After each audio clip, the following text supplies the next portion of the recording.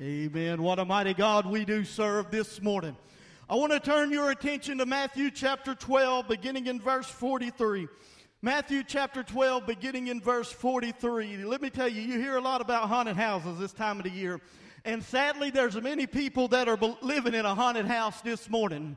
They're living bound by the bondages of sin, by the bondages of Satan, being haunted uh, by the things of the devil this morning. I want you to know this morning that the Lord is here to shine the light of the gospel. There's a light that still shines in this dark world this morning, and His name is Jesus. How many know this world is dark this morning? This world is wicked. This world is evil, but there's still a light uh, that can shine in the dark houses, and His name is Jesus Christ. Let's listen to the word the, uh, the, right here in Matthew 12, beginning in verse 43. When the unclean spirit is gone out of a man, he walks through dry places seeking rest and finding none. Then he says, I will return from the house whence I came out. And when he has come, he finds it empty and garnished. Then he goes, he, and takes with himself seven other spirits more wicked than in himself they enter in and dwell there. And the last state of that man is worse than the first. Did you see that? The last state is worse than the first. Even so shall it be also unto this wicked generation. I want to speak to you on the thought of living in a haunted house this morning. Heavenly Father, we come before you this day, Lord, and we lift you up, dear God, and we praise you, dear Lord, and we ask you, Lord, for your anointing, dear God, in here this day. Father, today I pray, Lord, for you to just Help me, dear God, to speak your words. Anoint my lips to speak your words, dear Father, Lord. Uh, Lord, I pray, God, for your divine anointing in here, Lord. Uh, and I pray, Father God, Lord, that you just give me the words to say, Lord, that you'll just search every life and heart and individual in here, Father, Lord. And we give you the glory, dear God, the praise and the honor in the name of Jesus Christ, we pray. Amen and amen. Uh, in this text right here, we see that a man had an evil spirit came out of him and he left left himself open, and that spirit had no rest, but could not find. And the evil spirit would say to himself, I will return to the house that I left. Uh, the house was empty. The individual did not feel the house and instead left it wide open. So not only did uh, that one spirit come back into it, uh, but seven more more evil, uh, and that became a hold of this empty house. Uh, and the Bible says the latter state is worse than the first uh, state of mankind. Uh, and I begin to think about this message: how many people are living bound up by the power of sin? how many people are being chained? by the bondages of sin this morning and don't even know the state they are living in. Uh, they are living in a haunted house this morning. Uh, it is a house that is without light. Uh, simply means they cannot see the error of their way.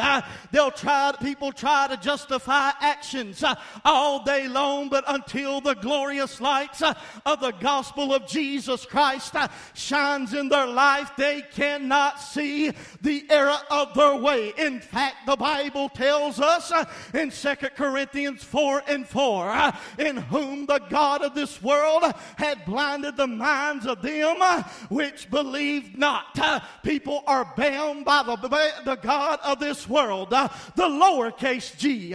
Old Satan himself, that old evil serpent, is blinding people to, going to chaining them, torturing them, making their life a misery. They can't see the error of this way because they're blinded by Satan himself. Uh, there'll be people today we see, we look around in the world, uh, and you'll see how people try to justify uh, all the actions of the sinful world. Uh, but can I tell you this morning, if the Word of God calls it wrong, it's still wrong this morning. people can chase and put any kind of justification on anything they want to put, but if the Bible calls it sin, guess what? It's still sin this morning. If the Bible says a man must be born again, then a man must be born again. Amen. If the Bible says uh, all men must come to repentance, uh, he don't wink at ignorance. That means uh, that he's still commanding repentance this morning. But old Satan this morning has got many people blinded up to believe a lie. He's got many people blinded up to falling into his little trap. People are dying and going to hell by the minute because they're blinded by the glo- blinded by the God of this world. But listen, what I'm telling you, people are walking in darkness this morning. People are walking in darkness. Let me tell you that darkness has blinded the eyes of man. Can I tell you, anyone who is not born again is walking in darkness? Did you hear me? When you're not saved, you're walking in darkness. Amen. When the blood of Jesus Christ uh, is not covering you, uh, you're walking in darkness. Uh, can I tell you today that mankind is in one of two camps? It's in the camp of the Lord or it's in the camp of the devil. There's no in between. There's no fence to straddle. One is either born again and got their name written in the Lamb's book of life, or there's one that's walk, they're walking in darkness and they're bound living uh, in bondage to the hounds of hell. But I got good news for you. There's still a light that shines uh, in the midst of darkness. Uh, there's still some blood that's able to set a man free. There's still a lighthouse that's shining in this dark world. There's still an answer for the cure of sin. The answer is to be born again. Amen. We'll get there here in just a minute. Uh, but people don't realize how dark this world uh, really is. Uh, people don't realize how dark it really is. Do you know they'll kill you, then look at you? We just, the world is justifying sin. It's called Planned Parenthood. Amen? Let me get this since we're dedicating the baby. It's not a tissue it's a baby in there. Amen. We look around, people want to justify all they do because they can't properly see. Somebody said they don't see a problem, the things that's going on. Well, you ain't got a biblical worldview. When you get a biblical worldview, you'll see through the eyes of Christ. But until one gets a biblical worldview, let me tell you, they're going to be blinded by the God of this world. Is anybody awake on me in here this morning? Can I tell you, if light is not occupying the house, that means uh, there's darkness that's in there. People are living in a haunted house. Uh, they're living chained up. Uh, they're living bound by the hounds of hell. But I got news for you that Jesus Christ can break the chains of sin. He can break the yoke. He can break the bondages. He can set a man free. A man don't have to live in miserable. Can I tell you why mankind's so miserable? You ever met somebody that's just so miserable? You just want to say, oh, get the lemon out of your mouth. Anybody want to know that? Anybody ever met somebody they was literally so miserable you couldn't get them to smile or crack anything? And how they was just literally miserable. You know, their whole life they was just crumble. Well, I'm telling you right now, I tell you, people in sin are in misery this morning. But I got news choose one. I tell you, there's one that can turn the misery into joy this morning. There's one that can turn the hopelessness into hope this morning. There's one that can break the chains that shackling an individual. Can I tell you his name is Jesus? You don't have to live in a haunted house this morning. You don't have to live bound up with devils in your life. You don't have to live in the chains of darkness. Can I tell you that God came down to our level. Amen. Can I tell you, he went to a cross. We're not willing that one should perish, but that all come to repentance this morning. Can I tell you there's been a sacrifice paid? Can I tell you the penalty of sin has been paid for those who will accept him this morning? He did it at the cross where mankind don't have to live bound up by the body bondages of sin. Uh, can I tell you, you can be free this morning. Uh, you don't have to live in darkness, uh, but you can live in the light of the gospel this morning. I'm telling you, you see, people, everyone will serve one or two masters. Amen? Everyone will serve one or two. You'll either serve darkness or you'll serve. And, I, and it goes back to where Jesus told Nicodemus in John 3, verse 3. Nicodemus came to him, and Nicodemus asked the question What must, must a man do to inherit eternal life? Jesus' response was, A man must be born again. Amen. Amen. Nicodemus got it through his mind. How can I go through my mother's womb? That ain't what Jesus was talking about. You must be born of the Spirit and of the water. Amen.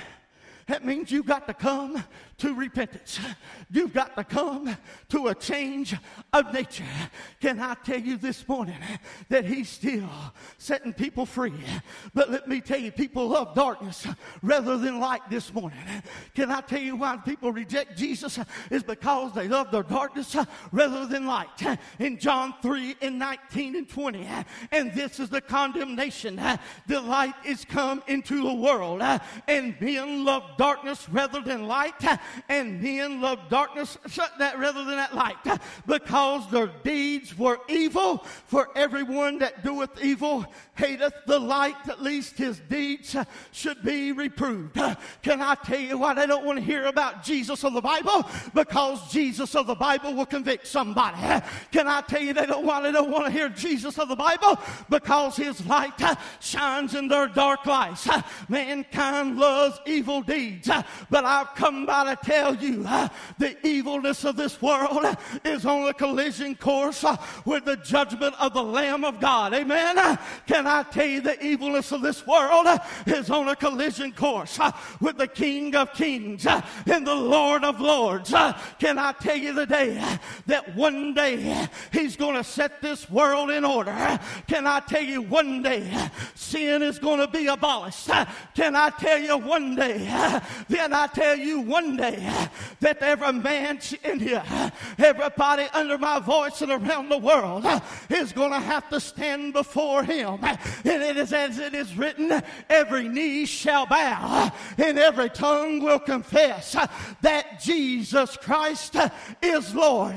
Can I tell you, you will either bow to him now and confess him as Lord, or you'll stand before his throne and bow then when it is too late. Uh, but I don't know about you, uh, but I'm going to bow to him right now. Amen. Uh, and there's nothing in this old dark world that I want. Can I tell you what the sin of this world will give you? It will give you heartache.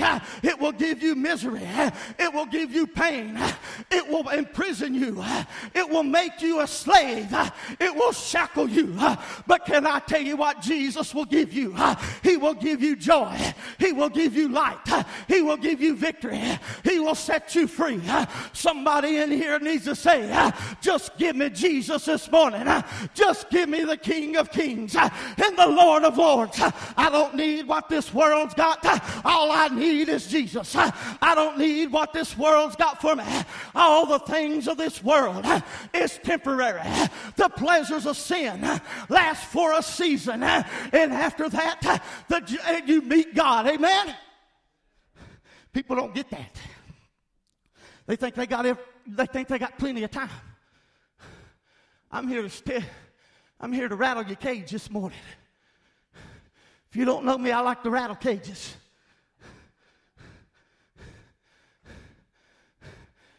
That the power of sin. That every, I'm going to tell you. Here's the, here's the note. You don't have plenty of time. I don't care how young you are or how old you are. Taking that last breath ain't got nothing to do with your age. I've been in rooms with all ages. Amen. I've heard them say my body's on fire. Yeah. I'll tell you what's going on. They're, on the, they're getting ready to enter into hell. That's exactly, and I've heard them say that He's coming for me. And put their hands up. See, sin wants to destroy lives. People are in misery this morning because Satan has occupied. Darkness has got in their life. People are literally miserable people this morning. I tell you how to get a little joy. Get a touch of Jesus. He'll give you some joy. Amen. I tell you how to get you a little smile on your face and a smile inside of you. Let him crack the yoke of that bondage of sin that's in that evil heart. Oh, did you? Yeah. I'll tell you how to be set free, get the shackles of sin broke. Let Jesus break those shackles of sin. Amen. People are living in haunted houses this morning and don't even realize it. I'm not talking about something Hollywood puts out. I'm talking about a reality. People that are bound up by the powers of hell this morning. Because let me tell you something. This ain't a playground, what people think it is. This ain't a Hollywood imagination party that's going on.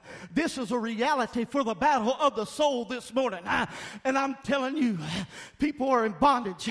Those that are living in this, under the influence of Satan in his haunted house are, are bound by the powers of sin this morning. Let me tell you, John 8 and 34, Jesus answered them, Verily, verily, I say unto you, whosoever committeth sin is the servant uh, of sin. What he was saying there, whosoever makes a lifestyle of it, uh, you're in bondage of sin. Uh, whoever controls you is who's got a hold of you this morning. I don't know about you, but I remember when the Lord broke these chains on this old boy's life.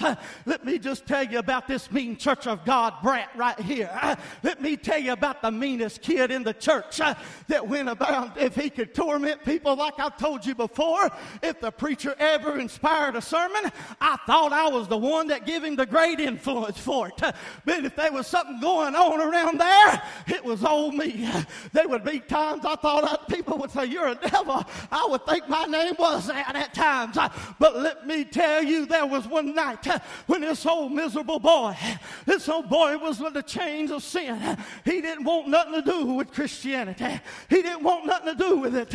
When mama told me I needed to come to church, I would drive my car to the parking lot and say I was here, but now I'm gone. But listen, one night I went in, and oh, there was something got a moving. There was something begin to convict. There was something that would get a hold of me. And I'm telling you, I ran to that altar down in Aaron Station, North Carolina. And I'm telling you, I put my, as soon as I got down, before I could get the words out, the tears are flowing.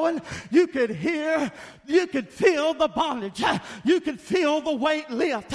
You could feel the chains that were being broken. I went down a beggar that day, but I came out a billionaire because I had more money than anything the world had. I got a hold of a king.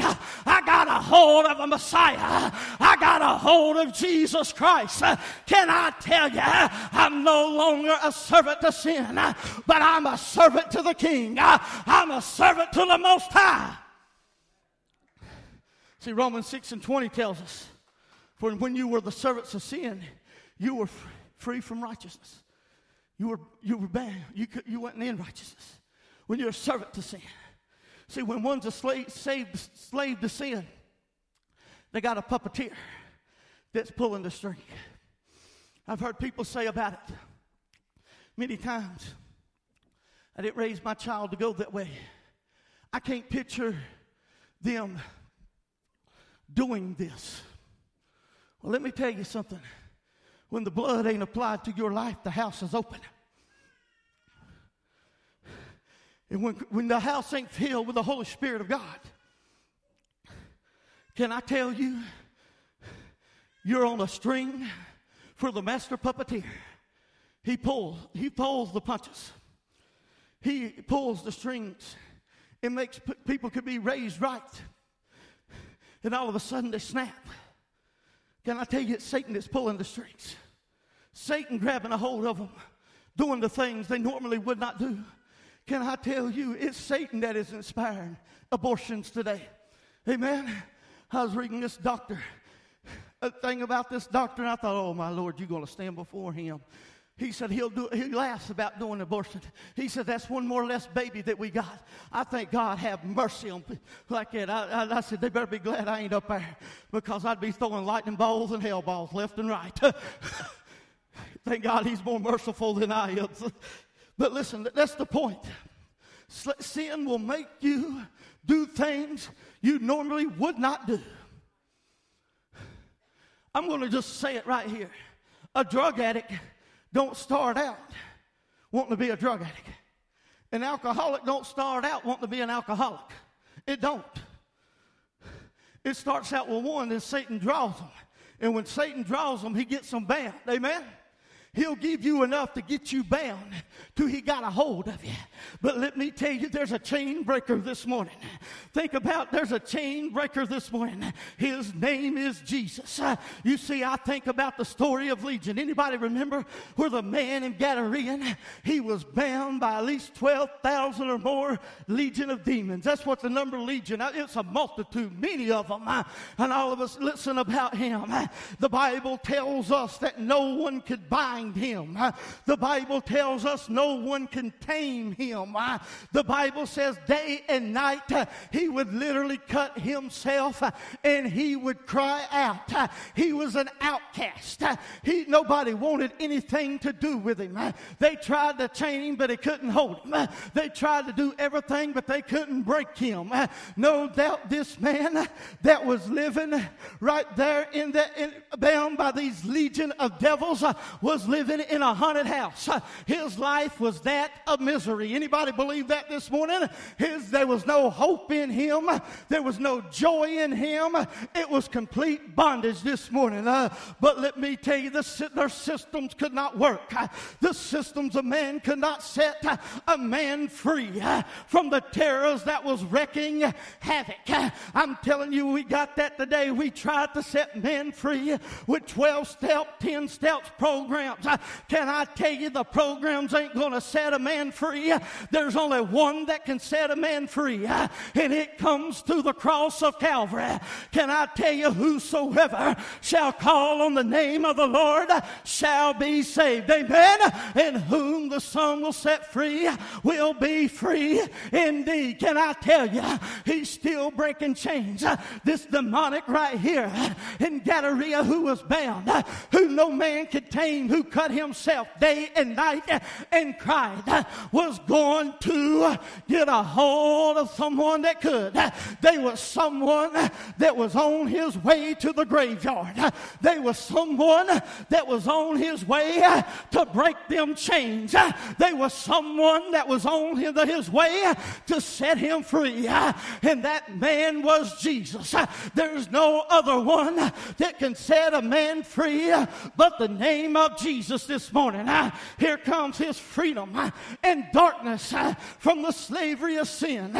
This man who was literally bound up of, by legion, Jesus was coming to set him free. When no other man was walking there, here comes Jesus.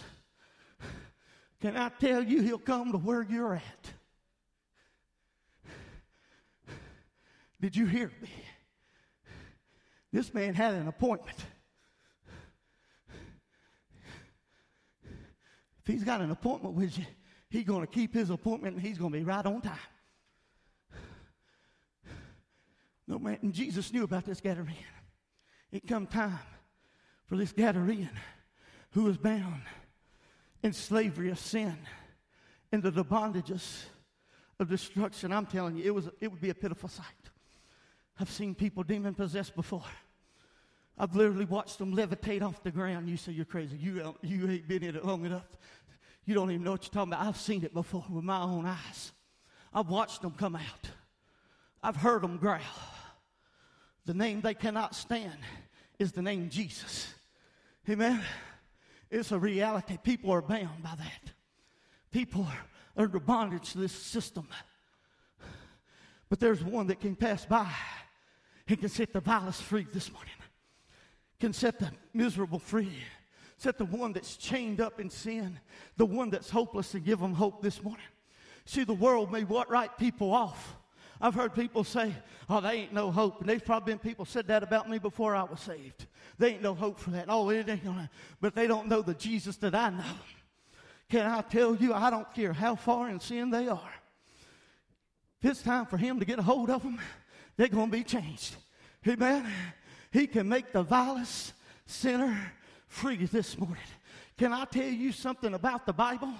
The Bible will give the lowdown on the people that God uses.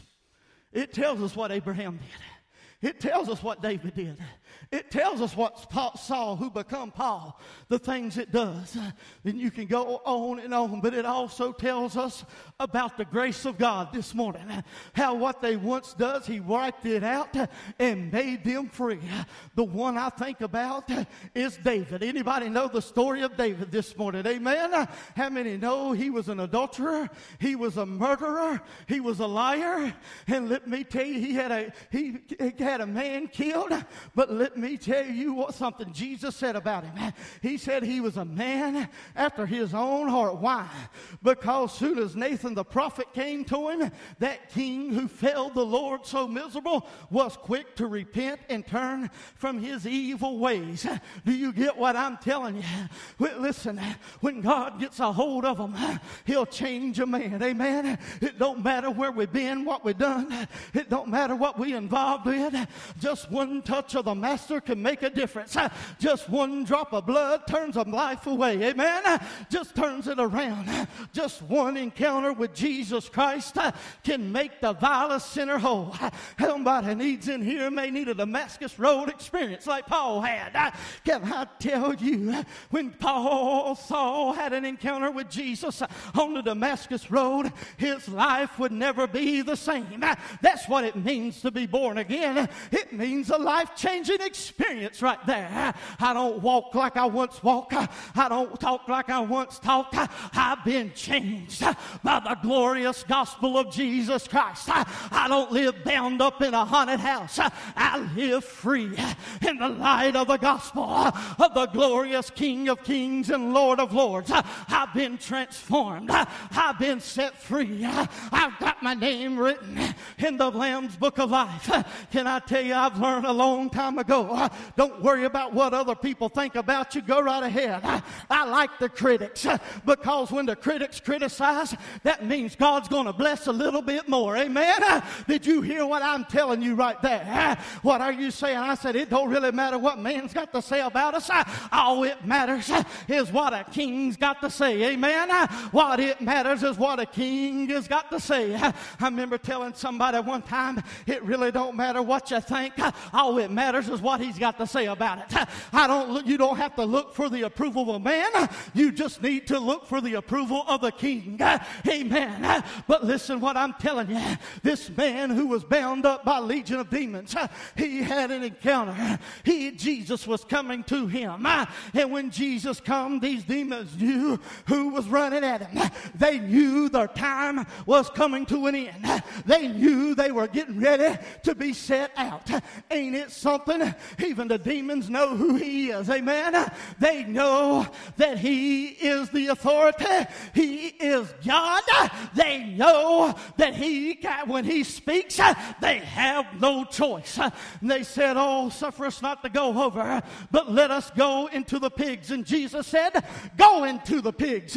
And them pigs ran off that cliff right then and there, bound with those evil spirits inside of them. But here was a man who had been bound up, who had been changed by legion of demons, who cut himself day and night, who lived in a haunted house, who lived under the bondages of sin, found himself going from darkness to light. Did you hear me? He went from darkness, living in darkness, living among the grave, living among the tombs, but going into the light.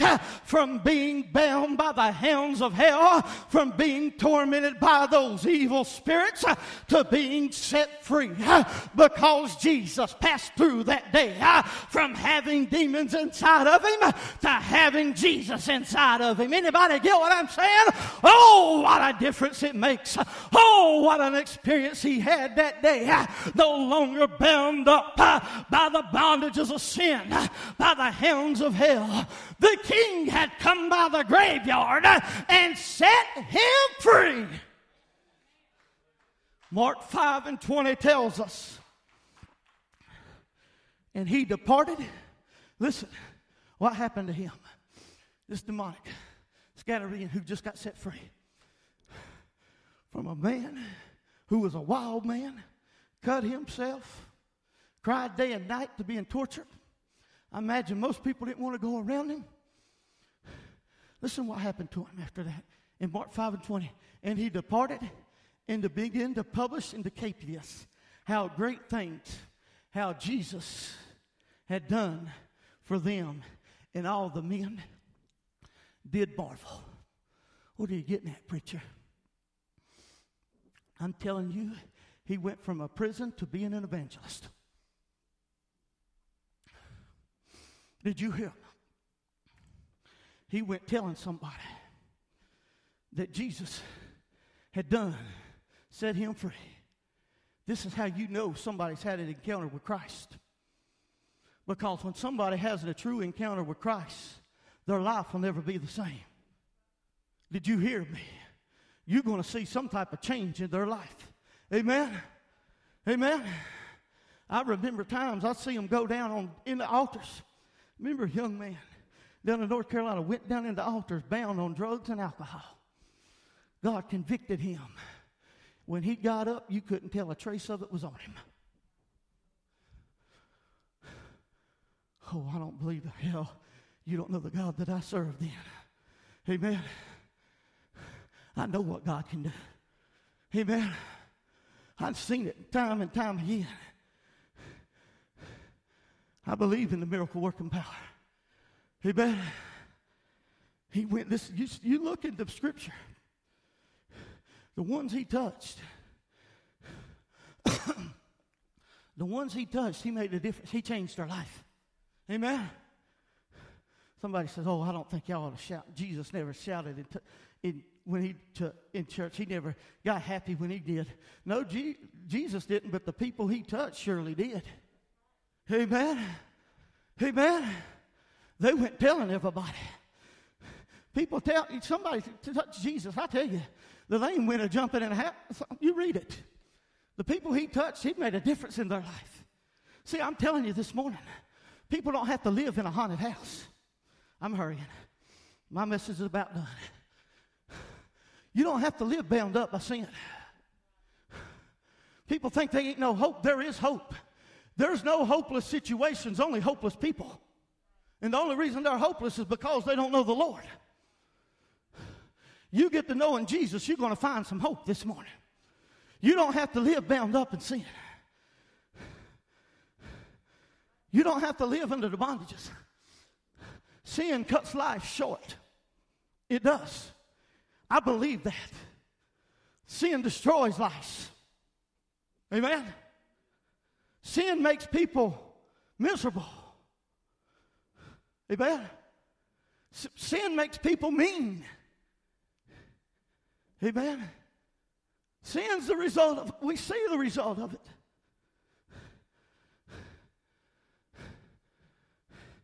But there's a chain breaker. See, you can't break it on your own. You can't break the chain on your own. I can't break the chain for you. You see, the Bible says there's got to be one, there's a strong man that has people bound with chains. And there's got to be one stronger than the strong man. Amen. Who's the strong man? Satan. Who's stronger than the strong man? Christ went in his house and broke that chain. Can I tell you, Jesus is the chain breaker? You don't have to live in darkness when you can live in light. Amen. You don't have to live in darkness, but you can live in light.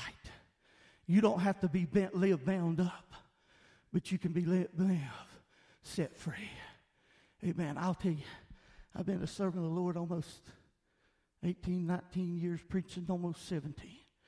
And I'll tell you right now, there ain't nothing that could get me to go back in my old lifestyle. I didn't lose nothing there. The only thing I lost was misery, pain, and heartache, but I have gained the glorious gospel, and I have attained the freedom that Christ, and I've attained eternal life. Amen. You say, I don't have, if your name's written in the Lamb's Book of Life, can I tell you, you got a reason to rejoice. Amen. If your name ain't written in the Lamb's Book of Life, He's given an invitation this morning. Amen. I'll leave that between you and God, but you better make sure you know, you know, you know. Amen. Because it, what if this would be your last day on this earth? I want to tell you, I've been in services like that, and it's happened. I have been in services like that. My former pastor was preaching revival in Gaston, North Carolina. The Holy Spirit spoke to him and said, Somebody is going to enter into eternity. People just laughed at him, thought he's just making it up, making it up. Well, there was a young man who responded to that call that morning. That afternoon, he got hit on a railroad track somewhere, went into eternity. Thank God he responded. But I've been in services where I know they gripped the pew and said, We'll be back tonight to come and accept the Lord, but that night never come because they'd go into eternity. I'm telling you, it ain't a playground, it's a reality. It ain't a time to think, it's a time to make a decision. Amen. Jesus Christ is your answer.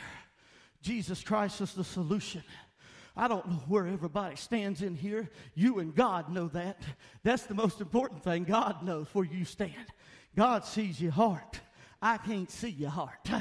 I know how the abundance of your heart, your mouth speaketh and your action speaketh.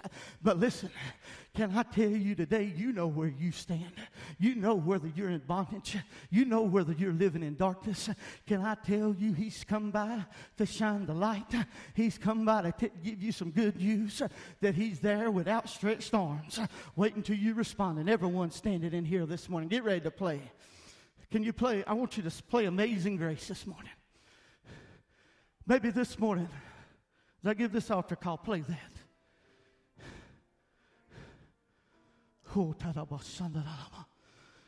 You don't have to live in bondage.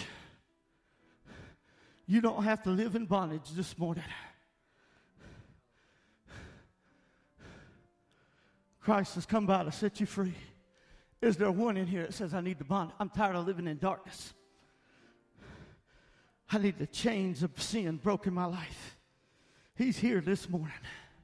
He's here this morning. He's here this morning. He's here this morning to break those chains. Maybe you ain't where you need to be with Him. Don't you walk out of here. If you don't know Him, if you don't know where you're going, you're only 90% sure. That means you're 99% sure you're 100% lost. I don't back off that statement. If your name ain't in the Lamb's Book of Life, it's time to get your name written in a book that matters. Is there one under my voice that would say, Pastor, I need to know Jesus? I need to know Jesus as my Lord and Savior. Don't hold back. Step out and come up here this morning. Don't be ashamed. I feel He's dealing. I feel He's a dealing.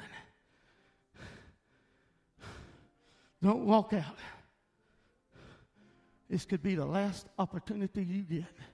What if it is? Maybe this morning you say, I'm not where I need to stand with Him. Well, it's time to rededicate your life to Jesus Christ. Those that will this morning, if He's dealing with you, I want you up here. Come on up. Oh, hallelujah. Is there others?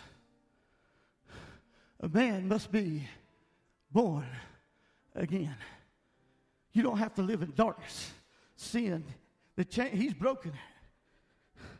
He'll break that chain. Is there others that says, maybe I need to search my life? Maybe I just need to talk to him, make him where I'm standing, where I need to be. I want to invite those that will be in this altar this morning. Those that will, come on up. Seek the face of God. Seek the face of God this morning. The Lord's still on the throne this morning. Amen and amen.